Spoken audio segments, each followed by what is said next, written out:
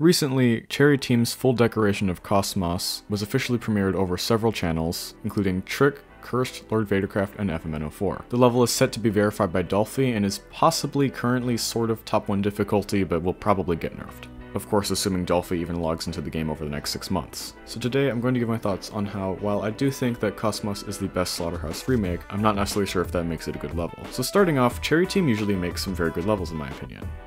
Their decoration is pretty good in most of the projects that they've made, especially some of the more recent levels such as Mayhem but I think some of their best decorations actually been in Cosmos. The use of pulses, varying designs that still have consistency, and overall theming in Cosmos is really well executed. The thing is, even though Cosmos has some of the best decoration and some of the best theming, it's still completely held back by the fact that it is a Slaughterhouse remake. I see nothing wrong with decoration, the designs are well detailed but not over decorated, there is use of different colors and pulses throughout the level, and the theming is pretty consistent while the theme itself, being around space and some sort of tech side theme, is executed really well and is actually a similar to theme to my current mega collab going on, Challenger. Which by the way, if you are interested in a part in Challenger and are actually competent in decoration, you can DM me with your best work and you might just get a part. However, while I think the decoration and the theming is well executed and in general has a very good premise, the gameplay is, well, shaky. Cosmos is ultimately and will always be a Slaughterhouse remake. The poster child for one of the worst trends in GD history, at least in my opinion, considering that this was one of the first Slaughterhouse remakes that started it all. If Cherry Team used this same decoration and their same skills on a different level, that hypothetical level would probably be one of my favorite upcoming levels. But because the gameplay is just so incredibly unoriginal, and it seems to be just as unbalanced and unfun as Slaughterhouse is, that alone just drags down the level in so many ways, because while the decoration and theming is magnificent, the gameplay is just bad, and it's just not as original.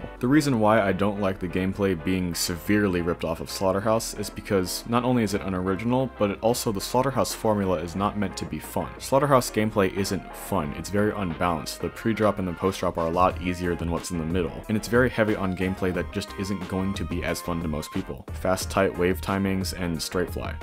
Not to mention, you know, like the CO frame perfects in the pre-drop. Cosmos may be the best Slaughterhouse remake possible, but that's not necessarily a high bar because Slaughterhouse remakes in general are just really, really bad. If it weren't for the fact that this didn't have unoriginal, most likely unfun, and just uncreative gameplay, this level would be probably one of my favorites, but because it's a Slaughterhouse remake, I can't say it's more than like a 6 out of 10. That being said, what can possibly be done to improve this level? I personally think that the level still holds pretty much all of its glory if it's, for example, top 20, and is focused more on being a fun challenge, meaning that it would be accessible to a lot more players, and more people would want to go for it because it's a Slaughterhouse style level that is easier and more enjoyable. I think this would mostly work because the concept of having a top one like Slaughterhouse is not going to work a second time. That's completely unoriginal and is going to come off as very uninspired and just there for attention. I think the decoration is really good, but it would be much better utilized in a level that isn't a Slaughterhouse remake, or at least just isn't as ridiculously impossible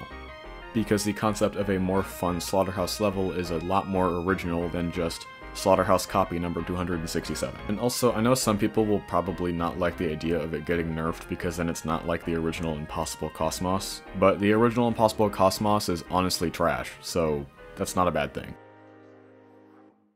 While the decoration and theming elevates this level to be at least decent, it is still dragged down by the fact that it is a Slaughterhouse remake. And perhaps one way to make that a little less annoying would be for it to be an easier level maybe perhaps top 20, top 50, and have it be focused on being a more fun version of Slaughterhouse. So yeah, those are my thoughts on Cosmos. Let me know your opinions on Cosmos in the comments below. If you could be respectful of other people and their opinions in the comments below, that'd be fantastic. This is all just a $4 cube game. If you liked the video, then subscribe for more content like this with notifications on. If you like the video, like the video. However, if you just feel like being mad for no reason, you can join my Discord server. There are plenty of people on there who have the exact same mindset as you. And um, yeah, see you in the next one.